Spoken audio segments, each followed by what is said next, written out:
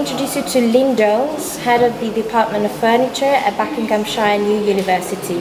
Hi Lynn. Hi. Um, this is your fifth edition of Bucks New University Workshop at Lago Studio. How do you feel about it?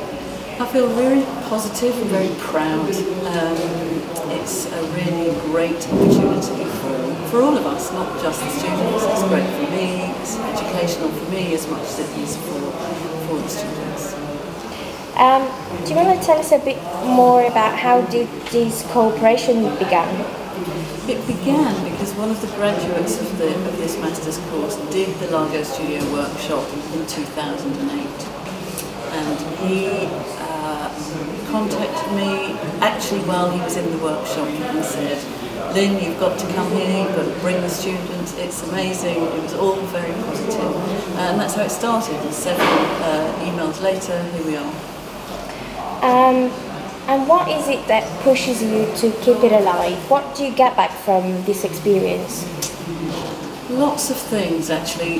The main reason is that this is a short master's course, it's only 12 months long, and this experience happens right in the middle.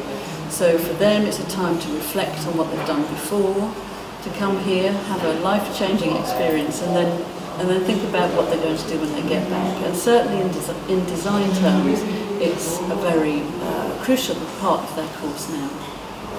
What are the students actually working on this year?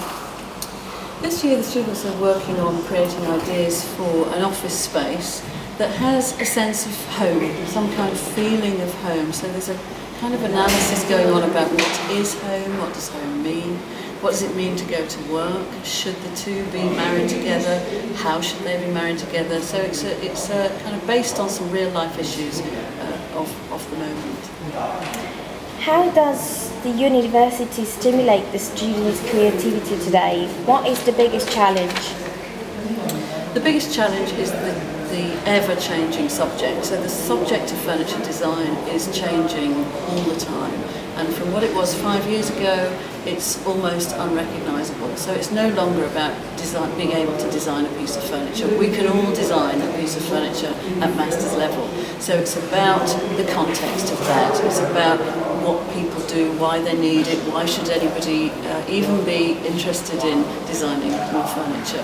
There are global issues, there's sustainable issues, there's all kinds of uh, issues for the students to, to grapple with uh, before they can really leave and call themselves a, a fully rounded furniture designer. Uh, just going back to the idea of designer, in your opinion, what is the role of the designer today?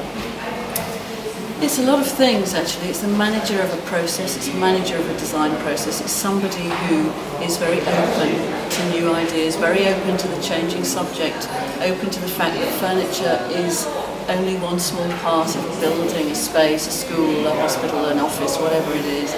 Um, so, so I think that the, the, the, the, the role now is, is, is really very big and very broad.